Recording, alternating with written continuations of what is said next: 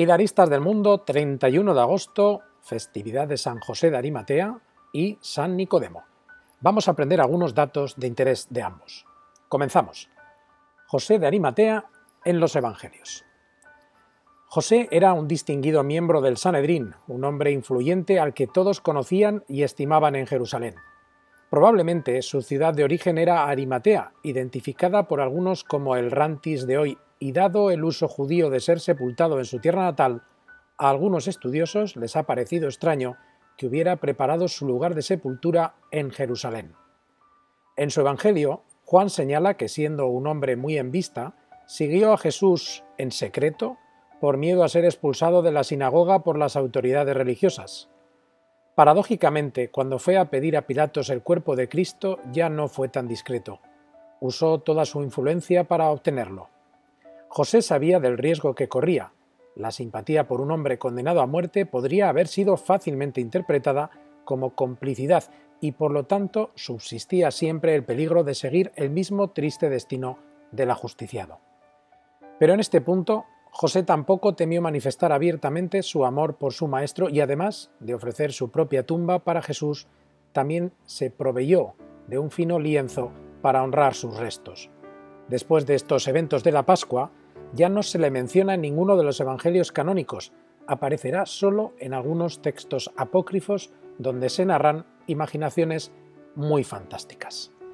Vamos a continuación con la figura de Nicodemo, un personaje emblemático del Evangelio de Juan. Comenzamos. Nicodemo era un fariseo, magistrado judío, que aparece solo en el Evangelio de Juan. Lo encontramos por primera vez cuando Jesús predica en Jerusalén en ocasión de la Pascua.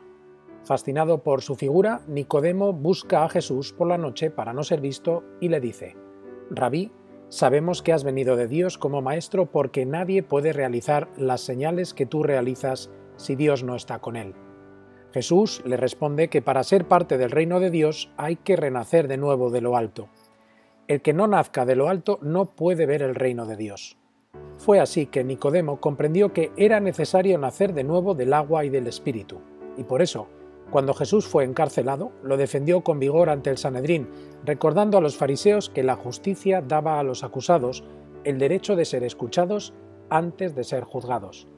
¿Acaso nuestra ley permite juzgar a un hombre sin escucharlo antes para saber lo que hizo?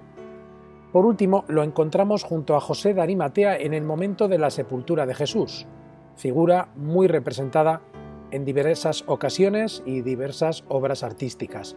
Existen también varios textos apócrifos del siglo II que describen historietas sobre José de Arimatea, narraciones que siendo fruto de la imaginación oriental y de las creencias populares, no son sino claras invenciones desprovistas de cualquier fundamento histórico y bíblico. A continuación, oración a San José de Arimatea. Dios misericordioso, cuyo siervo José de Animatea, con reverencia y temor piadoso, preparó el cuerpo de nuestro Señor y Salvador para el entierro y lo depositó en su propia tumba, concede a tu pueblo fiel la gracia y la valentía de amar y servir a Jesús con devoción sincera durante toda la vida. Por Jesucristo nuestro Señor, que vive y reina contigo y el Espíritu Santo, un solo Dios, por los siglos de los siglos. Amén. Y en este canal también hemos conseguido una oración a San Nicodemo. Señor Jesús, quiero nacer de nuevo. Quiero, como Nicodemo, entender qué significa en mi vida eso de que tengo que nacer de nuevo y ponerme manos a la obra, sabiendo que el Espíritu sopla donde quiere. Quiero, Señor Jesús, también yo nacer del Espíritu. Amén. Pilarista, tres formas de ayudar al canal. Dale al like, suscríbete y activa las notificaciones.